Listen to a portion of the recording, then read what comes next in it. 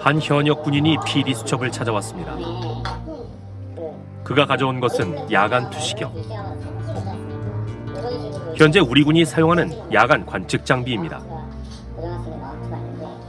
군인의 신분으로서 야간 투시경은 어떤 장비라고 생각을 하세요? 밤에 보이죠. 그러니까 사람이 뭐 고양이나 뭐 이렇게 야행성 동물 같이 밤에 이렇게 볼 수 없잖아요. 그걸 보, 봐, 보, 보게 해주는 정말 중요한 장비. 보여야 싸우니까. 야간 투시경은 소형 장비지만 아주 심각한 문제가 있다고 합니다.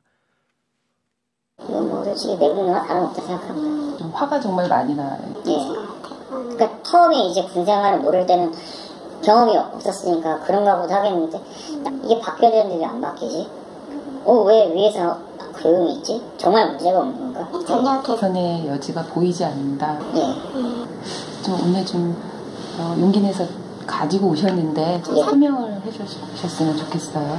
군 내부에서 오래전부터 야간 투시경의 문제를 제기했지만 개선될 가능성이 없어 제보하게 됐다고 했습니다. 그러니까 짜증이 나죠 일단. 그러니까 뭐 교통상에 뭐몇 몇백 미터까지 보인다라고 하는데 잘 안 보이니까 실제로. 그러니까 뭐 위에서는 야 이게 뭐 어디까지 보이는 건데 왜뭐 뭐야 막 이렇게 막 다그치고 저희는 진짜 보고 있는데 안 보이니까 그러니까 거기 사람이 동물인지 뭐 짐승인지 뭐 이게 없으니까 짧아 보이고. 잘 보이지도 않고 수명도 짧다고 합니다. 그러니까 거의 뭐 안 쓰다 보니까 그게 이 지금 있는 물건들이 거의 안 쓰다 보니까 그냥 그 800시간 수명을 안 넘어갔을 뿐이지 제대로 쓰기 시작하면은 아마 뭐 1년도 안 돼서 다 죽, 죽어나갈 거예요. 야간 투시경의 실태를 더 자세히 알기 위해 다른 현역과 예비역 장병을 만났습니다. 그러니까 이게 뭐 한마디로 말씀드리자면 성능도 글 쏘시라고 2, 300 넘어가면 진짜 막 그 야밤중에 랜턴 치고 돌아다니는 거 아닌 이상 안 보인다 보시면 되고 그리고 밤에 밤에 그리고 랜턴 치고 돌아다니면 굳이 야투경 쓸 필요도 없이 그냥 맨눈으로 봐도 랜턴 치고 있는 거다 보이고. 다들 말하기 이거는 전쟁 때 못 쓰겠다라고 말을 했죠. 왜냐면 앞이 저희 숲이 많거든요. 숲에 보면은 그냥 아무것도 안 보이고 해가지고 야, 이런 거는 못 쓰겠다. 전쟁 그냥 별 보는 데나 쓰는 거지. 이런 말을 많이. 근데 뭐 별은 잘 보이거든요 별은. 그것도 비치긴 하니까. 근데 사람은 안 보인다 사람이 빛을 뽐지 않잖아요 예. 사람을 보려고 만든 거죠. 예. 눈이 쉽게 피로해지고 통증까지 느낀다는 의견도 있었습니다. 좀 그래도 좀 선명하게 보려면 이제 그 초록빛을 좀 높여야 하거든요 광도를 광도를 높이면 좀만 있어도 그냥 눈이 아파 눈이 아프고 현실적으로 그걸 눈에 30분 동안 그걸로 감시하는 거는 불가능한 일이죠. 아예 눈이 아예 멀어버릴 정도로 내 눈에 부담이 많이 가는 장비라서 그 노래방 위에 달린 그 동그란 게 눈으로 계속 들어온다고 생각하시면 될 것 같아요. 너무 자극적이고. 네. 예비역 장병들을 초청해 더 많은 이야기를 들어보았습니다. 어느 정도 시기에 복무를 하셨나요? 세분 다? 저 같은 경우는 13년도부터 15년도까지 있습니다. 13년. 네, 저도 14년도부터 15년도까지 근무했습니다. 네, 저는 16년부터 18년까지 16년부터 18년까지.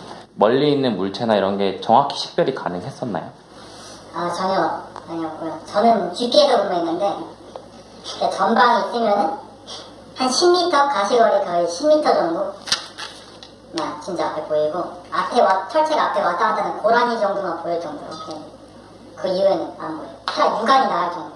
봤을 때 이거는 그냥 그냥 세상을 초록색으로 만들어주는 기능 정도였던 것 같고 이걸로 막 뭔가를 식별해서 본다 이런 느낌보다는 그냥 약간 군대니까 들고 있다 이런 느낌. 뭐 아니면 부스러 소리 나니까 DMZ 안에서 근무하다 보니까 부스러 소리에 예민하거든요 소리. 그러니까 이게 잘 보여야 되는 게 맞는 건데 그걸 확인해야 되잖아요.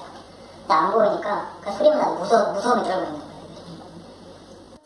고장이 잘 나고 쉽게 파손된다는 점도 공통된 의견이었습니다. 네, 여기, 여기, 여기죠. 얘가 헐거덩거려요. 빠질 때가 많거든요. 저는 여기 같은 게 깨졌던 것 같아요. 이게 떨어지면 여기가 이렇게 끝에가 이빨이 나가는 것처럼 깨지고 사격을 하면은 한 번 이제 총의 반동이 크니까 한번 탕 하면은 이게 딱 나가요. 반동 때문에 이렇게 나가야 돼. 저는 잘 나가고 그 다시 껐다 켰다 껐다 켜도 나온대요. 근데 그것도 신기한 게 간부들 다 알고 있어요. 약간 TV가 안 나오면 뒤를 톡 치는 것처럼 그냥 톡 치고 이런 식으로 그냥 주먹 보고씩 걸면 실제로 와도 고장이 났으면 교체를 해줘야 되는데 교체를 안 받고 그냥 가지고 있는 거가 오히려 잘못된 게 아니라 얘가 고장났는데 딴 부대에서 혼나기 싫으니까 털리기 싫으니까 정상인데 가져가지고 몇개 정상품 갖다 놓는다든지 아니면 개수를 속여가지고 고장난 거는 뒤에 빼놔가지고 그런 식으로 한다든지 그. 고장이 나면 책임을 묻기 때문에 사용을 꺼리는 장비가 야간 투시경이라고 합니다.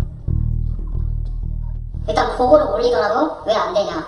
아 이거 안 됩니다. 그럼 뭐 어떻게 섞이게 안 되냐. 이렇게 되게 혼내는 잘 알지 못하면서 혼내는 간부들이 있기 때문에 뭐 자기 잘못도 아닌데 혼나는 되게 억울한 상황이 많을 것 같아서 아 이거를 제 세금을 들여가지고 여기다 한다고 하면은 그때는 생각을 못했지만 지금 생각해보면 참 안타깝고 이제 철제 근무하고 기임제 안에 근무하는 장병들이 좀 더 저 더 나은 환경에서 근무를 해야 되는데 계속 이제 계속 아침에 반복인 거니까